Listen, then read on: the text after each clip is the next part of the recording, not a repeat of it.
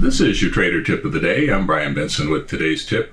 I'm having a look at wheat. Uh, now, of course, you could play the uh, futures, uh, ZW, on most platforms, uh, but there is an ETF, WEAT, that tracks uh, the wheat futures, and uh, it also has pretty good participation in the options on WEAT. So, the thing I like most about this, of course, is the chart, and uh, there's been a lot of fluff taken out of the price and it's been consolidating along a very long term trend line and uh, is turning up a little bit from that trend line. So uh, I, I, like the way that looks. Uh, I like the participation and the options. There's a number of ways you could play this. Of course, you could buy the shares, you could do a debit call spread, you could do a put credit spread uh, or maybe even as something as simple as a covered call uh, to participate. So I'm Brian Benson. I'm with OptionsTradingSignals.com. This has been your trader tip of the day.